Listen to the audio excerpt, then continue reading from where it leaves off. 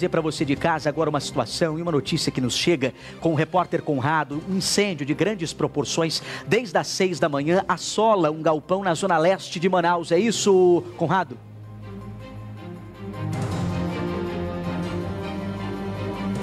Exatamente isso do Camargo, por volta de 6 horas, foi quando a fumaça densa, uma fumaça preta, tomou conta da zona leste da capital. Quem passava pela Avenida Altas Mirim, que dá acesso até a zona leste, conseguia ver a densa fumaça.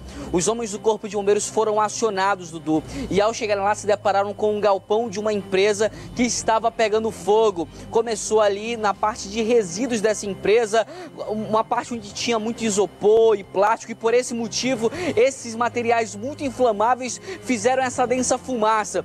Os homens do Corpo de Bombeiros foram rápidos, conseguiram atuar em menos de 6 minutos, chegaram no local e em menos de 30 minutos conseguiram conter as chamas. Cerca de 10 viaturas foram usadas, 27 homens do Corpo de Bombeiros, além de 30 mil litros de águas que foram usados também para conseguir controlar as chamas. O rescaldo já foi feito.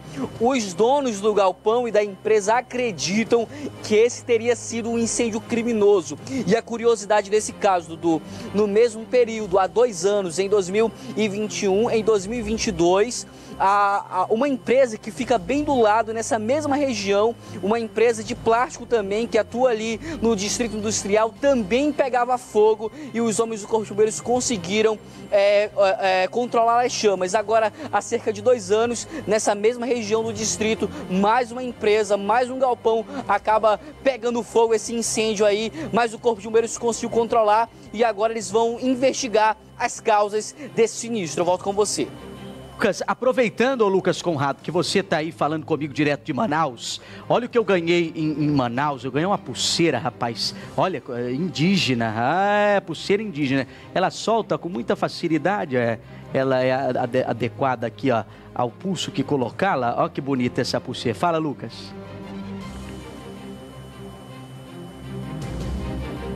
Oh, a próxima vez que você vir aqui em Manaus, eu me comprometo ao vivo de que eu vou com você junto com essas viagens. As duas vezes que você veio aqui, eu estava trabalhando, ocupado, não consegui nem ir até o aeroporto te recepcionar, mas prometo que assim que você pisar aqui de novo, a gente vai estar junto fazendo essas viagens, Dudu. Então